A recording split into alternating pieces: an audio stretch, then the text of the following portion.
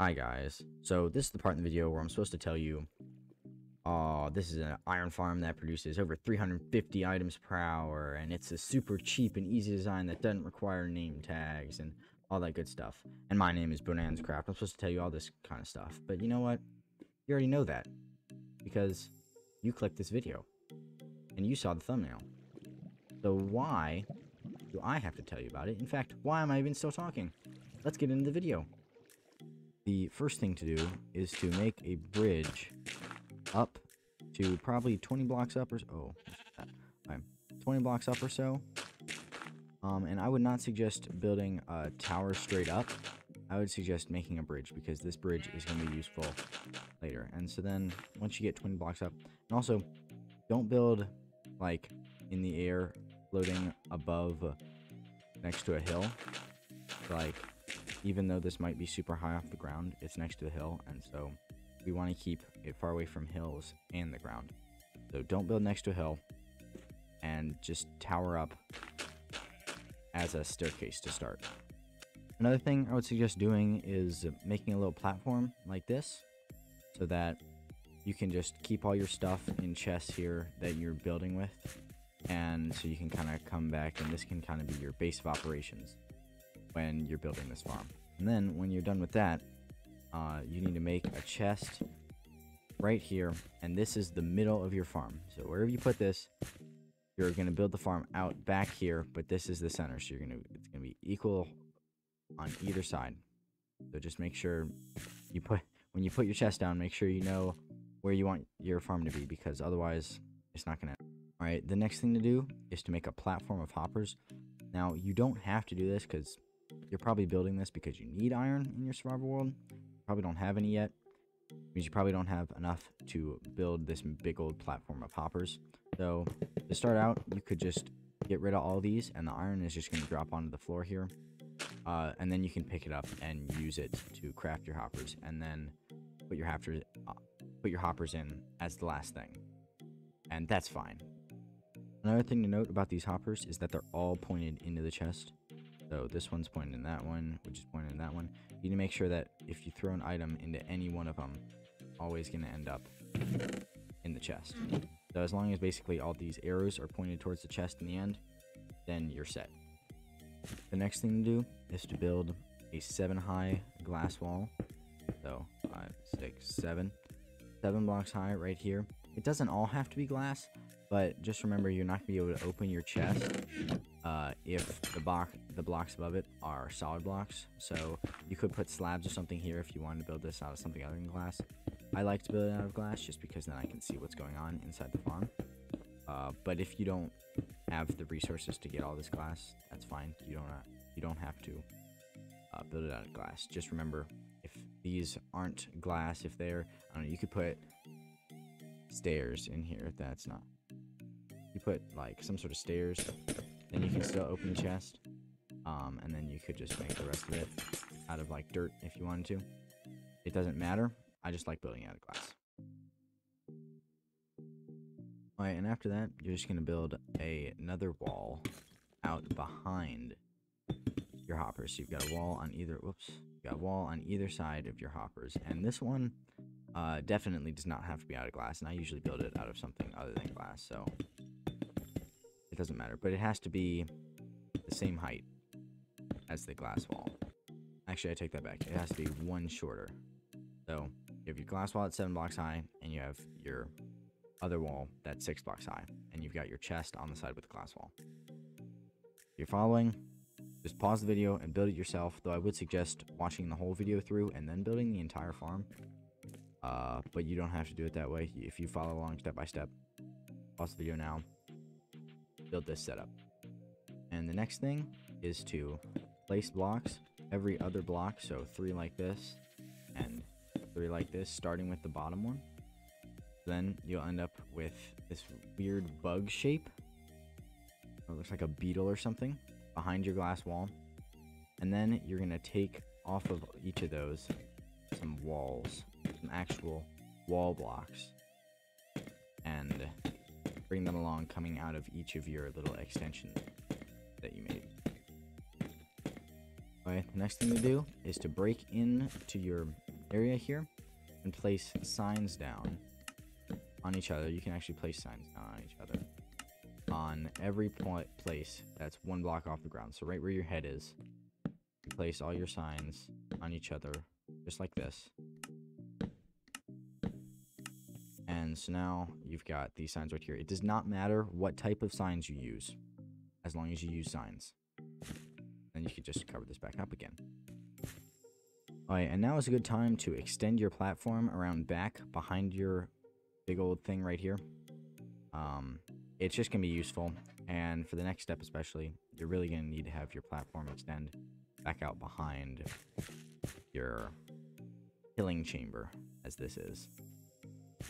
Okay, the next thing to do is to go to the middle two blocks of your tower and go one block up right there and go out five blocks. So that's one, two, three, four, five. Just like that. And then you're going to put a boat right here at the end. And you also probably could use some stairs to get up there. And this boat is where your zombie is going to go. Okay, the next thing you need to do is get your zombie. And I think the easiest way to do that is just to run around at night. Uh, try not to get killed. And find some zombies like there are over here. Don't die to the other mobs.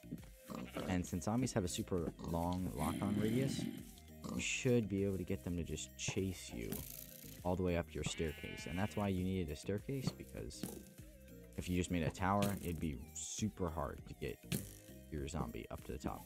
But this way, as long as you don't die to these guys.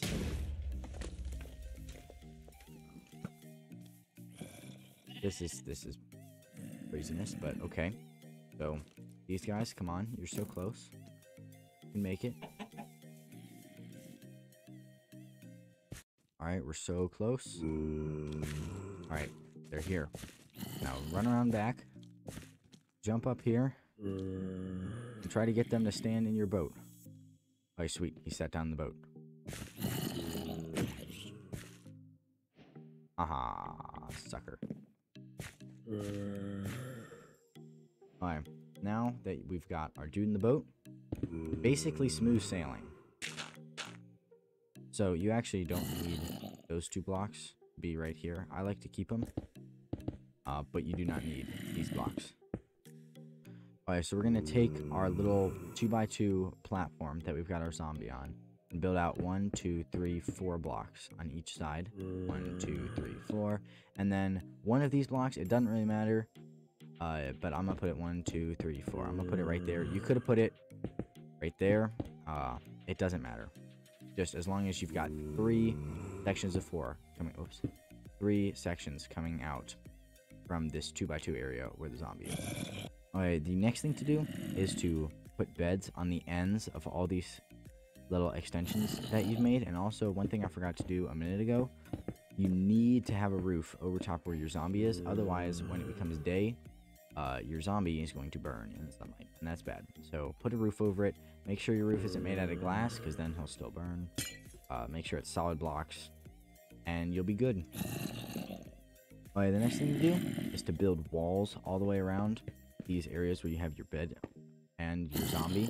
And actually, the roof, before I had it too high, you should actually have it three high, so that if you're underneath it, you can jump, uh, because villagers that are going to go in here where the beds are uh, need to be able to jump to be able to get into their beds. So next we're just going to build walls up all the way around this. Um, I'm going to build them on glass just because I like to be able to see, but it doesn't have, it does not have to be glass. It can be, I don't know, deep slate or concrete or stairs. I don't care. As long as there's blocks there. Okay, the next thing is, is to put some temporary blocks like dirt in between the areas with the beds and the zombie. This is so that this is because we're about to put villagers in there with the zombie, and we don't want the zombie to kill the villagers for now. We want them to be trapped in here where they are. Alright, so you're probably asking, what is the best way to find villagers and to get them into your farm? Well, the answer, why am I wearing this armor? Well, the answer is build reasonably close to a village. So I built reasonably far away from this village. By the way, you cannot build this farm inside of a village. So if you've been trying that, uh, I'm sorry. Please, please don't build your farm inside of a village. build it outside of a village, but reasonably close to a village so that you can get your villagers. And then you really have three options. You could use mine carts your villagers over here, but mine carts cost a lot of iron, and you don't have a lot of iron yet because you're building this farm. So that you can get the iron. That's a bit of a problem. So you might not want to build it with uh, mine carts. You could use a boat and just boat the villagers one by one. You need three, by the way. You need three villagers. Excuse me. So you bring your villagers over here with boats. Um, you can't go up hills with boats, so you need to use pistons. But you could do that. You could push your boat up with a piston um, and just do it all the way up here. Though this farm is pretty high up in the air, so it might be hard to do that. Uh, the way I would suggest doing it is if you just come in and make this staircase three wide, so like this, and then say you've got a villager down here at the bottom, which actually let me. Alright. Now all our monsters over here are hopefully die. But if you have a three block wide staircase, then you should just be able to put your villager down here at the bottom and get, say, a um, barrel. And put the barrel on here. And your villager should look at the barrel and go up and get a job with the barrel. And then you could put a barrel right here. It's three wide, of course. And then when you break this barrel, he's gonna look at this barrel up here and go get a job with it. And then you're gonna keep going all the way until you get to the top. Here, I'm so close, I might as well just finish this on camera. There you go. And then you put another barrel down, you break this one, goes up to get to the next one. Put another barrel down, break this one, goes up. Put another barrel down, this one. Hmm. Oh, come on, come on, dude. Uh, looks like he's hmm. going for it. Put one right here. Hmm. Break this one. And then you're also going to need some sort of stairway to get up there. So. And that also have to be three wide if you're doing. Alright, so once you got your stairway built, you can just, you know, keep placing and breaking, placing and breaking. Hmm. And the villagers should cooperate. They sh they're usually pretty good about this, but hmm. sometimes they can get annoying and, like, jump off the cliff or something. So I'm sorry if that happens to you. Hmm. And then we'll place one in there, break this one.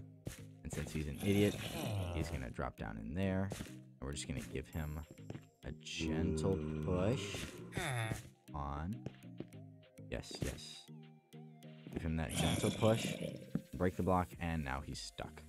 And do that with the other two villagers. I'm not going to do that on camera because that would take forever. And those little green particles means that they see their bed and they're able to sleep in their bed. Uh, so that's great. That's exactly what you want. Now to the next step.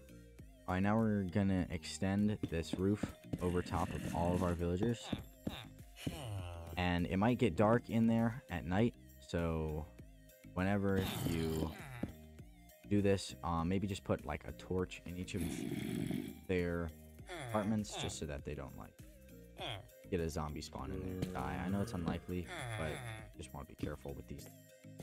It would really stink. Your villager died and your farm stopped working. Alright, now we're going to take this platform that we made before and extend all four pieces of it out seven blocks. So in the end, they should end up lining up right on top of where this villager's head is. And uh, so now that we've got this platform in, uh, so just as another moment to pause for you, this is what your farm should look at like at this point. We've got this chamber that we already built. We've probably got some sort of pathway to get these villagers up, and at this point, our villagers are in and our zombie is in. Um, we've also got this platform up on here, which currently looks like some sort of bird or airplane. Not sure. Uh, so that's just to catch you up. If you have any questions, just like pause it right now and build it yourself and come back.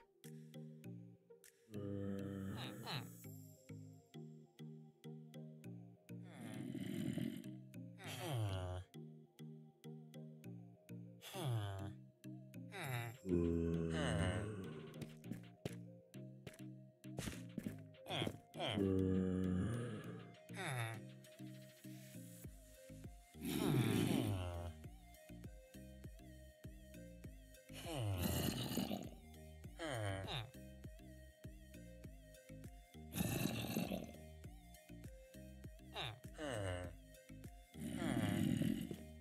Alright, the next thing to do is to take your walls that we were using before and extend them all the way around this platform.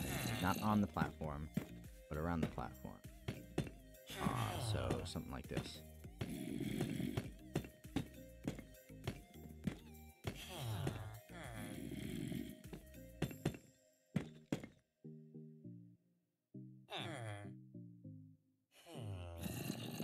One thing I kind of did wrong earlier.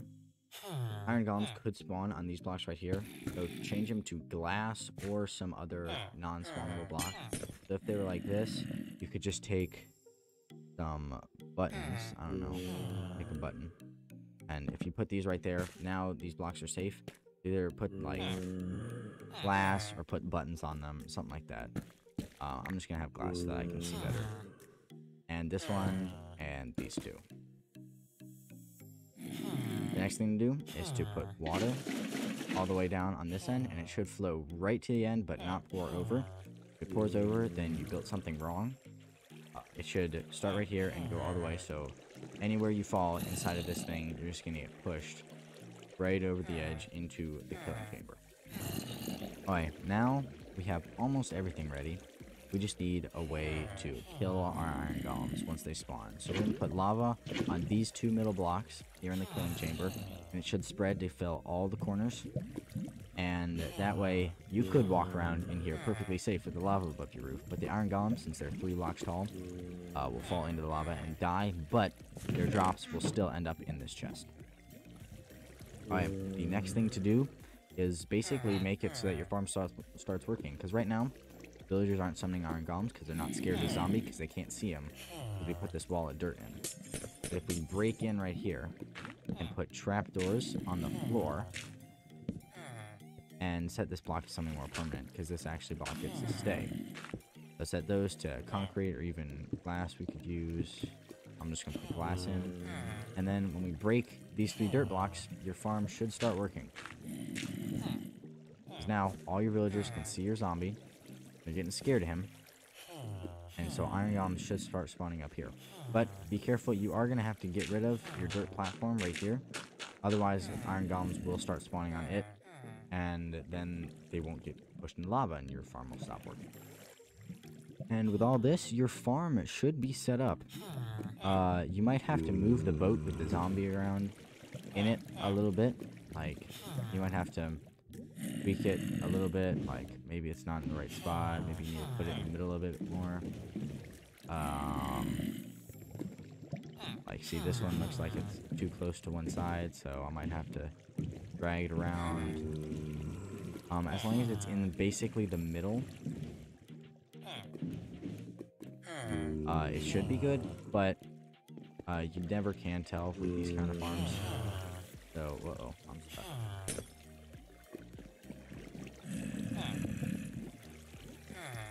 So if you just leave it like this, it should work. You might have to wait for it to go night and then go day again. Um, but your farm should be all set up. Uh, you can actually leave this wall open if you'd like, or you can close it. It doesn't really matter. So I went ahead and got rid of my platform that was right here. Uh, because the iron golems could actually spawn on that, and then that would mess up my rates. Uh, but if you want to be able to actually access this chest, you could just build a hopper line. If you wanted to, you could have a chest all the way down here and just like build a hopper line all the way up.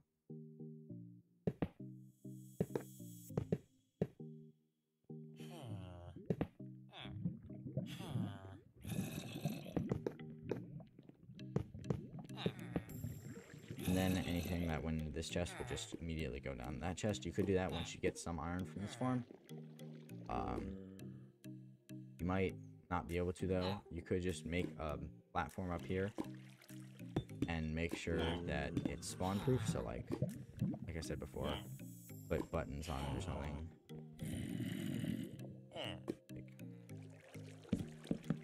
And then it'd be safe and you could come up here and hmm. do stuff. You just gotta be careful, make sure that your platforms aren't spawnable. Hmm. Okay, so first my farm wasn't actually working, wasn't spawning in iron golems, but then all I did was just save and quit and reload the world, and it started working again fine. So if you're having that problem, just try leaving your world and coming back. Try maybe moving around in the boat, uh, though I doubt that would really fix it. If you don't want to get in the boat, by the way, you could use a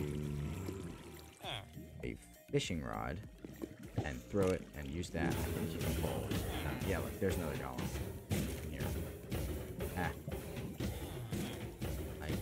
maybe you can't move the boat like that. I don't know. Never mind. Don't. I didn't say it. Don't think about anything I just said. And so now, we are collecting iron this chest down here and a torch, which I put in. But yeah, so this is a working iron farm, and it doesn't need a name tag for the zombie, which is why I would recommend it. And yes, thank you for watching this video. I will see you next time. Bye.